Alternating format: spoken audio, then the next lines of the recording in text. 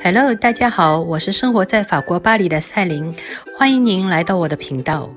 今天我为大家介绍一家巴黎非常著名的百货公司 ——La Samaritaine（ 沙玛丽丹百货公司）。这家商店开业于1869年，它曾经是巴黎第一座百货大楼，在2001年被奢侈品集团路易威登收购。2005年至2021年进行了16年大规模的整修，终于在六月份重新营业。沙玛丽当百货公司地理位置优越，在塞纳河边，位于卢浮宫和巴黎圣母院之间。这个宽敞和精美的购物天堂也吸引了我去走一趟，让我们一起去看一看吧。